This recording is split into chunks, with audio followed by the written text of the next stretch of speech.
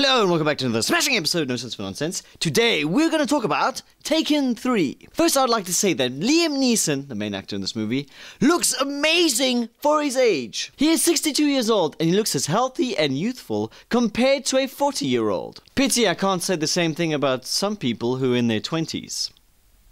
Blech. Now, Taken 3 is a story about Bryan Mills, an ex secret operative, who is accused of murder of a loved one, framed of a crime he did not commit.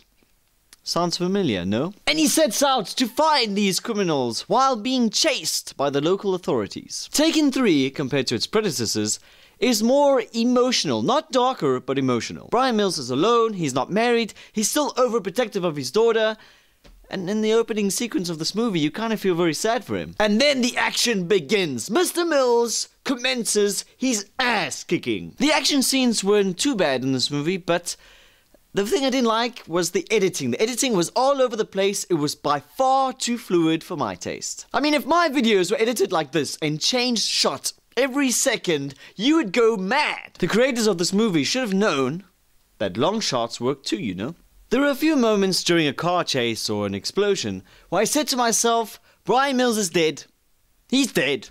There's no way he could have survived that. No way in hell he could have survived that explosion. It's kind of like this. Don't worry, don't worry, just an explosion. A little bit of a scratch, but don't worry about it. I took my Chuck Norris injection this morning, so nothing can happen to me. I know as a spectator of a film, you're supposed to tell yourself, this is fiction, it's not real. You're supposed to allow yourself to accept certain situations in a movie, but sometimes it still has to make sense. Something I liked in this movie, though, is that Taken 3 was different story wise compared to Taken 1 and 2. Taken 2 was just a repeat, a continuation of Taken 1. Here, Taken 3 is almost a completely different story. It tries to break free from its predecessors. Another thing that bothered me were the local authorities in this movie who were so average. Just your random local cops who are charged to catch this exceptional secret agent. Throughout the movie, they're always two or three steps behind, but I mean always really far behind. You get the feeling that Bryan Mills is not really challenged, and you're under the impression that it's just a walk in the park for him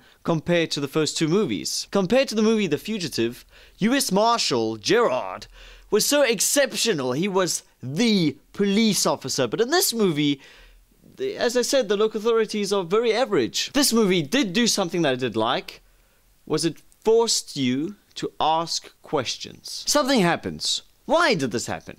Why did they frame Bryan Mills? And you have to wait to get an answer to these questions. But Taken 3 did not have that sinister feel that you felt in Taken 1. Remember from the first movie? If you let my daughter go now, I will not look for you. I will not pursue you. But if you don't, I will look for you. I will find you. And I will kill you. You did not have that feel in this movie. That sentiment where if you take my daughter, who I love so much, I'm gonna get you. I'm gonna find you.